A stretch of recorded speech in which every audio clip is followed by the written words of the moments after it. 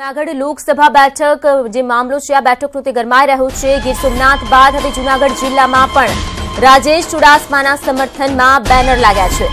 રાજેશ નહીં તો કોઈ નહીં તેવા લખાણ જોવા મળી રહ્યા છે. રાજેશ ચુડાસમાને ટિકિટ ન અપાય તો પાર્ટી સીટ ગુમાવશે તેવી પણ ભીતિ બેનરમાં વ્યક્ત કરાઈ છે.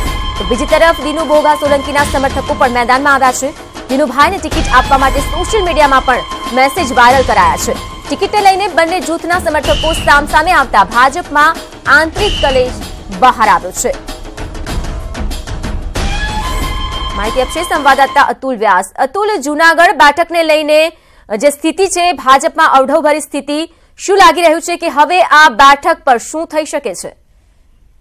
જી વિધાત આપણને ચોખ્ખું જણાવ્યું કે જે રીતે ભાજપનો આંતરિક કલર છે તે જુનાગઢ લોકસભા સીટ પર બહાર આવ્યો છે.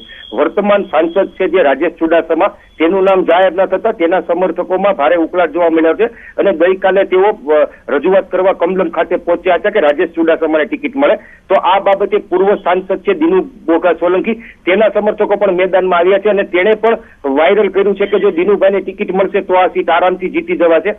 આમ એક તરફ જોવા જાય તો જે ભાજપની સ્ટ્રેટેજી હોય છે જે પ્રમાણે જુનાગઢ જિલ્લામાં જોવા મળતું નથી અને જે ઉમેદવારો છે તે પોતપોતાના સમર્થકોને લઈ અને રજૂઆત કરવા પહોંચી રહ્યા છે. સૂત્રો દ્વારા એ પણ હાલ જાણવા માહિતી મળી છે કે જે માંગરોળના પૂર્વ ધારાસભ્ય છે ભગવાનજીભાઈ કરગઠિયા એને પણ પોતાની દાવેદારી કરી છે અને એ પણ બપોર બાદ કમલમ ખાતે પહોંચી અને પોતાના સમર્થકો સાથે રજૂઆત કરશે. આમ જોવા જોઈએ તો ભાજપનો જે આંતરિક કલર છે તે જુનાગઢ જિલ્લાની લોકસભાની સીટ ઉપર લઈને સપાટી પર આવ્યો છે. ત્યારે ભાજપ હવે શું કરશે તે જોવાનું રહ્યું. છે અતુલ આભાર માહિતી બદલ.